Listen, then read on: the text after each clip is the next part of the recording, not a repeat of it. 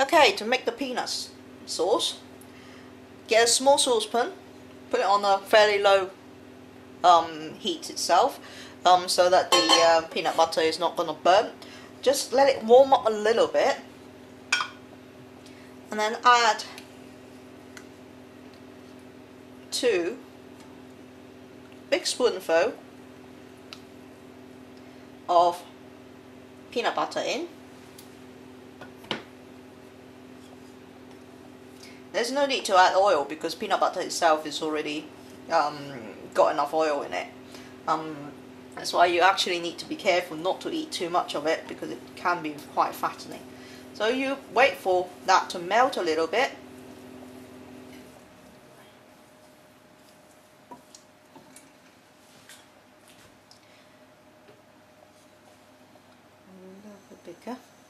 And then you add the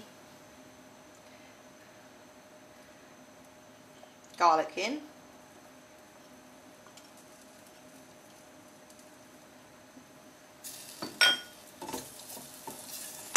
So mix them in.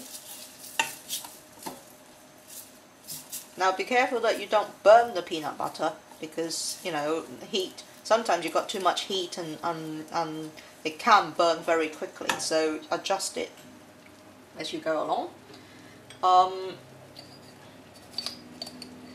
add some brown sugar. And this I'll probably add about two and a half. And then just mix them in.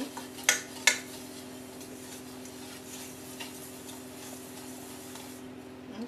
Go into a bowl itself. As I say, I add some Tabasco, just a couple drops.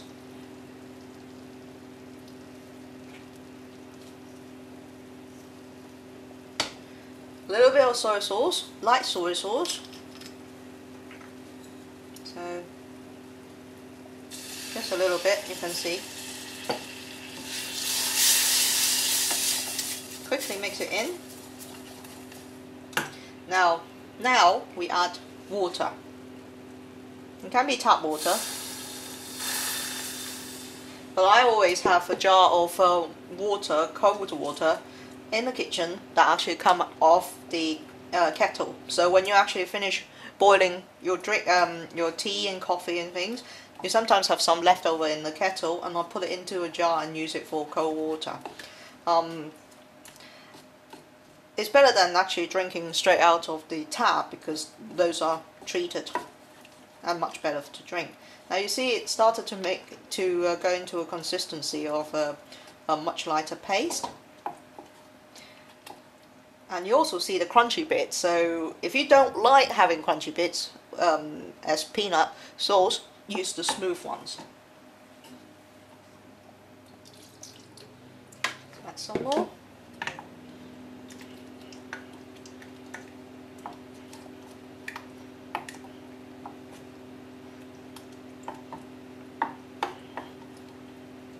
Now it goes into a much smoother paste now but it's still not enough but don't put too much water in at one go because it will um, make it quite hard to um, to mix them all in quickly.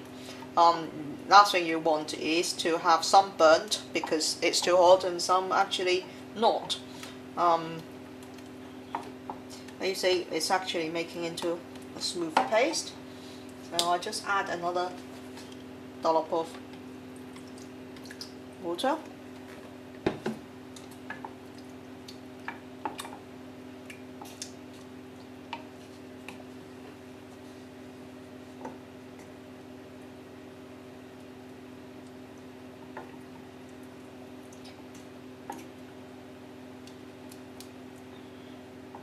Now that goes into quite a smooth liquid now. So now we add some ground ginger. I like ginger and garlic, you probably know if you see my other demo. Um, I'll add quite a bit of this in.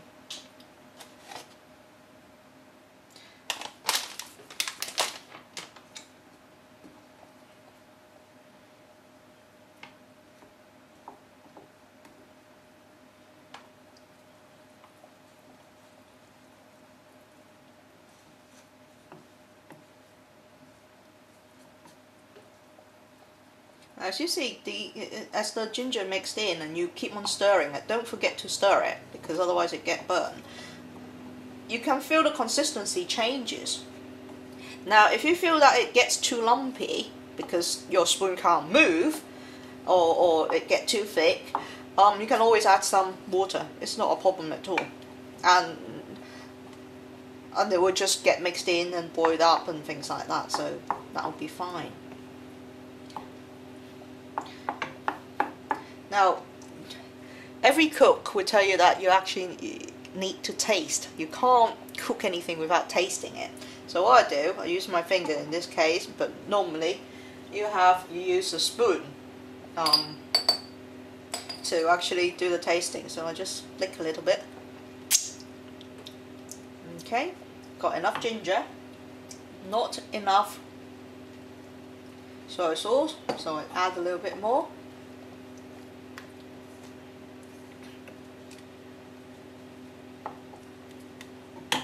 Not enough Tabasco to my taste.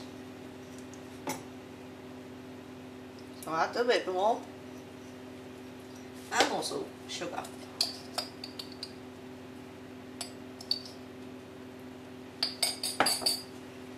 I'll mix it all in again.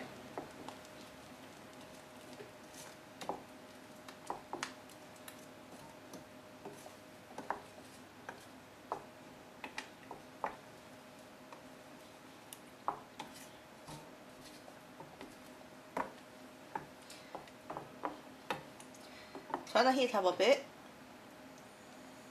and then as it boils up slightly you can see it start bubbling then it's done so it's quite simple now don't forget at all time when you cook make sure you taste them so that the taste doesn't suddenly run away and you don't find your food too salty, too sweet, too chilly or whatever. Uh, while you're cooking it, you have the chance to remedy it. Okay?